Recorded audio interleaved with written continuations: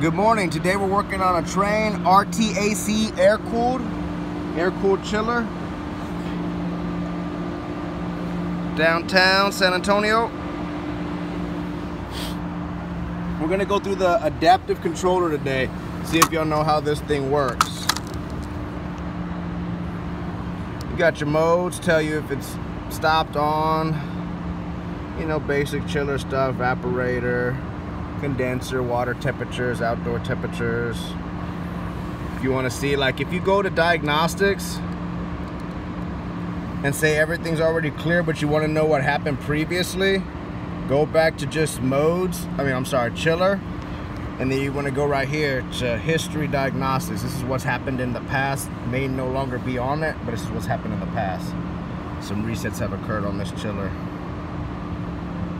Evaporator water flow loss, back on December 7th.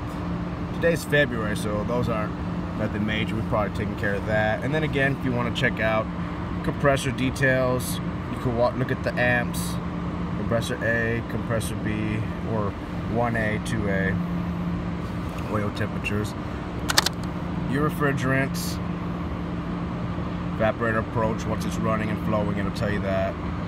Now, if you want to do some type of work to this chiller and you need to still be able to run it, you only want to be able to run one half. Like say you have an issue on the, the right side, circuit A. Okay, well then, you know, circuit B on the left still works. You need it to run. Okay, we could run it. What you're gonna do is come in here. You can go one at a time with this one, or you can push this one and go five at a time. You're gonna wanna scroll down in set points, double arrow to where it says, right here, front panel, circuit one, circuit two, lock out. not locked out or locked out. If you want to lock out one of them, again, so you can pull out all the gas, make a repair, while still running this chiller on the other half, click here, and then you just lock it out or not locked out. You just click it, and you click OK, and then you'll be good to go. And the same thing with circuit two, lock it out. We'll lock one out if you want.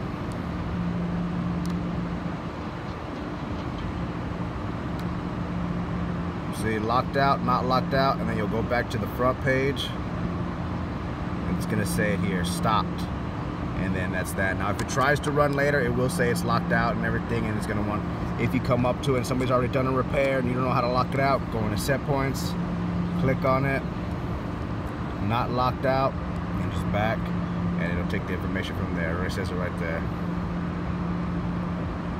See, now they're all in auto, no longer stop. So if you come up to it, one says stop, one of your buddies has come out, made a repair, you're not too sure how to take it out from being locked out, again, just go to set points, scroll down to uh, front panel, circuit one, circuit two. It's kind of a ways down, so don't be alarmed if you're here and you don't see it right away. Again, I'll click this one, still not there, click it. There it is.